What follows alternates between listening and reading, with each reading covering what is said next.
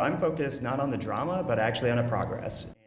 Not backing down. Mayor Brandon Whipple refusing to resign or apologize despite calls from the Fraternal Order of Police to do so. This all came about because of this, that police body cam video released showing a tense interaction between the mayor and a Wichita police officer. It happened last month during the Southwest Neighborhood Association cleanup. Whipple telling KSN he accidentally pulled into the wrong spot and a police officer confronted him. He claims the officer acted inappropriately but did not turn on his body camera until afterwards.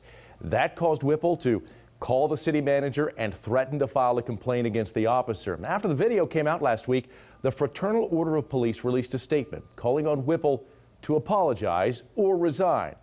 Those are two things the mayor says he is not focused on. We want Wichita to be the place that people want to come and be a police officer, uh, and we want to be competitive. So to do that, I'm going to continue to increase their budget as needed so that our police chief has what he needs moving forward. And I try to do not pay so much attention to whatever national organizations uh, end up attacking me on social media. Now, after the video surfaced, Mayor Whipple wrote a $1,500 check to the Southwest Neighborhood Association. He says the money was meant to buy two more dumpsters for the next cleanup event.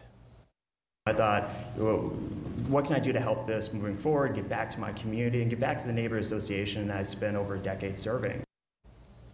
But the check was returned to him, but not because the neighborhood association did not want it.